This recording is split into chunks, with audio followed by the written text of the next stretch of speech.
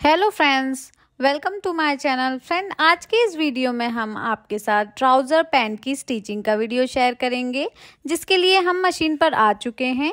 और ये देखिए, जो पाँचे हैं, वो पहले से बने हुए हैं तो हमें पाँचे बनाना नहीं है यहाँ पे। तो सबसे पहले हम क्या करेंगे? पैंट के दोनों पार्ट्स को इस तरीके से खोल कर रखेंगे, एक के ऊपर एक। अंदर की साइड जो है, दोनों सीधे साइड रखना है हमें। इस प्रकार से देखिए, हमें दोनों पार्ट्स को मिलाकर रखना है। आसन के साइड में हमें सिलाई लगाना है। दोनों साइड के आसन को हमें मिलाते हुए, इस तरीके से हाफ़ इंच का मार्जिन लेते हुए यहाँ पे दोनों आसन में सिलाई लगा लेना है। इस तरीके से। देखिए फ्रेंड इस तरीके से हमें अच्छे से पकड़ते जाना है। और मिलाकर सिलाई लगा लेना है दोनों साइड के आसन में। तो देखिए फ्रेंड मैंने दोनों साइड के आसन में जो है हाफ़ इंच का दबाव देते हुए सिलाई लगा ली है। अब हम इसे इस प्रकार से सेंटर से पकड़ेंगे और खोल देंगे।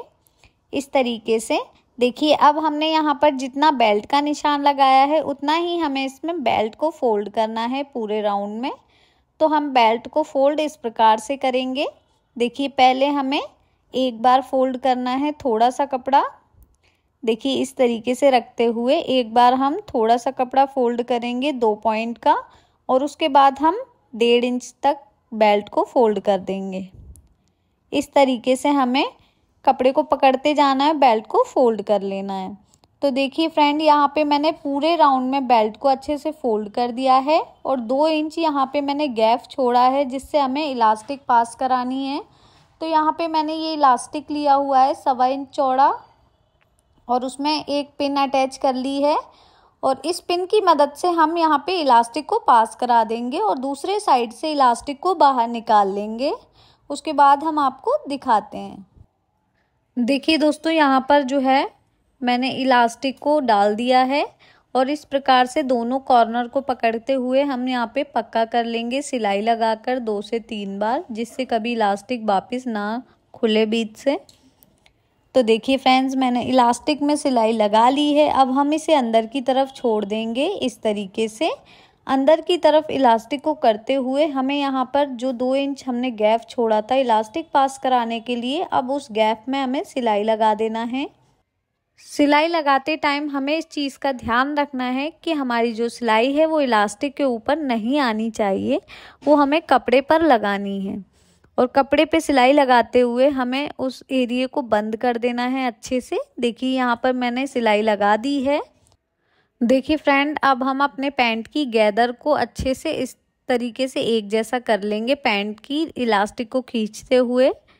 देखिए, इस तरह हमें गैदर को एडजस्ट करना है।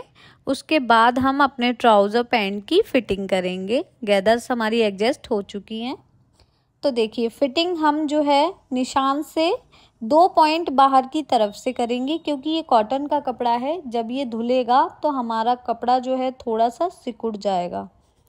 दोस्तों, अगर आपको ये वीडियो पसंद आता है तो इस वीडियो को लाइक, शेयर करें और हमें कमेंट करके भी बताएँ कि आपको ये वीडियो कैसी लगी।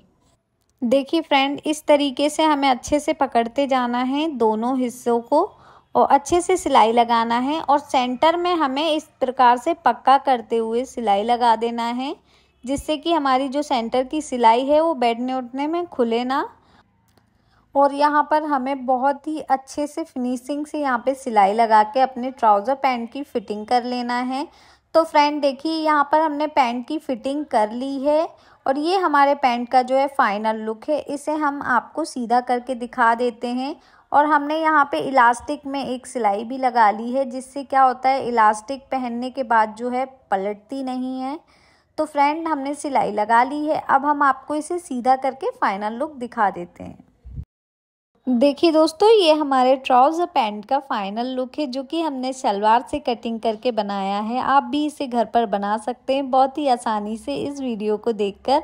फ्रेंड अगर आपको वीडियो पसंद आया तो वीडियो को लाइक शेयर करें और हमें कमेंट करके बताएँ कि ये वीडियो आपको कैसी लगी। और अगर आपके लिए ये वीडियो हेल्पफुल रही तो इस वीडियो को लाइक किए बिना ना जाएँ और इस वीडियो को पूरा देखें। एंड तक समझने के लिए कि ट्राउज़र पैंट की कटिंग और स्टिचिंग कैसे होती।